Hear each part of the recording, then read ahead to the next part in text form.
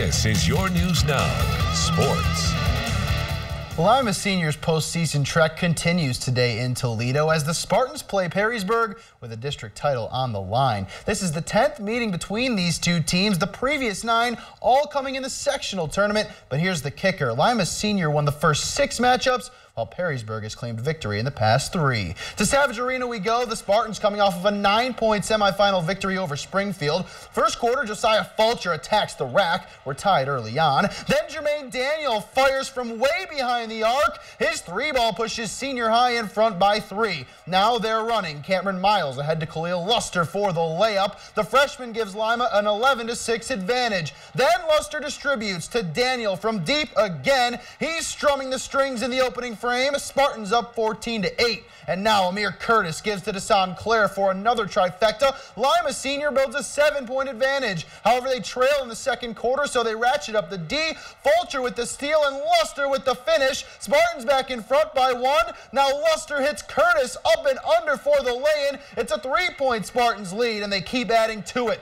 Daniel still feeling it, bearing another three ball. It's 24-18, and late in the half, Fulcher closes strong. First, he floats this one up for a seven-point advantage, and then the junior tacks on a triple try. Lima Senior wins 58-44. They advance to the regional semis Wednesday at 7 back at UT. They'll play Toledo Start, who upsetted top-seeded Whitmer today. More district final action down at Division 3. Ottawa Glandorf looking for a second straight district title as they tip off with Coldwater. Second quarter. Noah Miller feeds Cole Frilling. He drills it from downtown. We are level at 24. OG is an answer as Owen Heagle sizes up his defender before sinking the mid-range J. 32-31 OG at the half. Third quarter, Marcus runs all the way to cut for the bucket and the foul. Then Ben Wenning goes cross court to Bruns, who cans it from the corner. 18 for the senior. Coldwater up one after three. In the fourth, Carter Herringhouse nails a trifecta of his own. That pulls the Titans within three. The gap is six here, and it's Herringhouse with three points the old-fashioned way. 12 for the senior tonight. Back and forth we go. Bruns to Miller in the corner. Bang as the Cavaliers were on fire from deep today. But at the other end, it's Owen Heagle taking the rock to the rack. Another and one for the Titans. OG within three, but it's Bruns dropping it off to Frilling. He muscles it up and in, plus the foul. The senior leads Coldwater with 23. The Cavs win 70 to 67 and head to the regional finals to face the winner of the Norwalk District next to Wednesday at 8 at BGSU. From the hardwood to the mats, the final day of the state wrestling championships from the Schottenstein Center in Columbus today. Three local wrestlers have a shot at the state title. But we will begin in the consolation bracket with many local wrestlers looking to place today.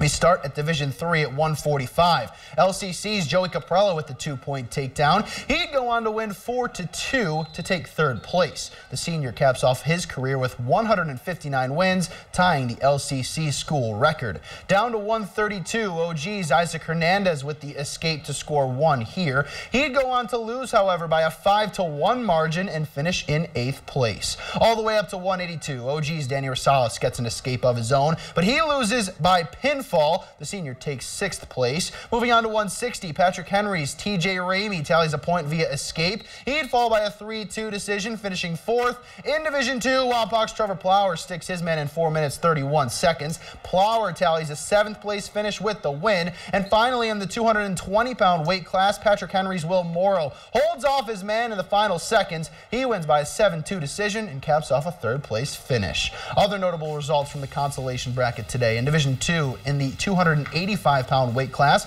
Wapak's Brendan Kenevey wins via pinfall to finish in fifth. While down at 220, Bellefontaine's Bruno Pattison beats Defiance's Adalberto Vega by a 5-3 decision to finish seventh. Up at one, up at Division 1, 138-pounders, Findlay's Jonas Smith victorious via pinfall in a minute 37 seconds. The Trojan tallies a seventh place finish. Division 3 now 113, Coldwater's Brian Chmielewski defeated by a 7-3 margin. He finishes in eighth. At 120, Allen East Straight Carmine finishes in sixth. And at the heavyweights at 285, Columbus Grove's Jeff Meyer also a sixth place finish. More state action, but we move from the mats to the lanes as Wapak Sam Wagner competes in the Division One boys individual state tournament today. Here it's Wagner picking up the spare, and then you will see him knock down the strike. The Redskins shoots a three-game series score of 639, finishing in 14th place. A great overall experience for the Wapak sophomore. We finish on the college court as Findlay plays for a GMAC title at Croy Today hosting Walsh. First half, Anthony Masterlasco to the rack. It's 10-9 Oilers.